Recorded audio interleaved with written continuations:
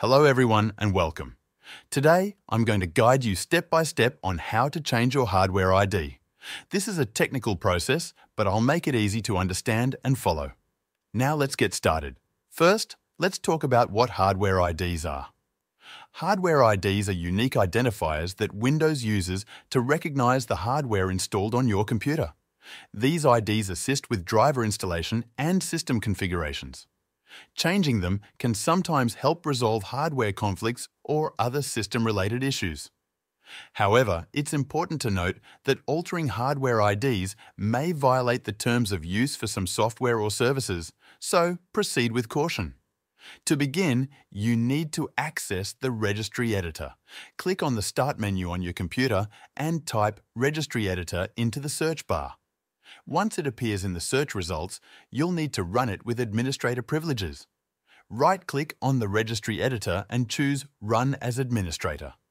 When the Registry Editor opens, you'll see a menu on the left-hand side.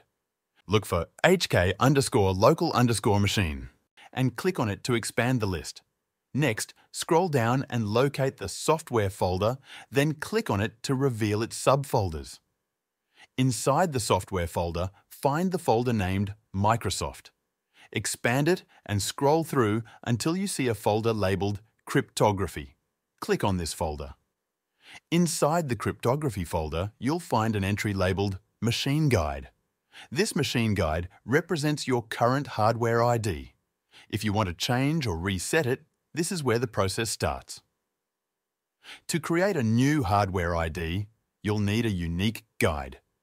Open your browser and search for GUID generator. The first result is typically reliable, but be sure to choose a trusted website.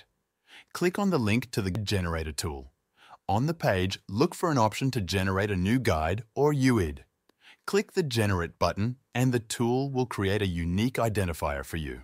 Copy the newly generated GUID to your clipboard. Now return to the registry editor and double-click on Machine GUID a small window will open where you can edit the value.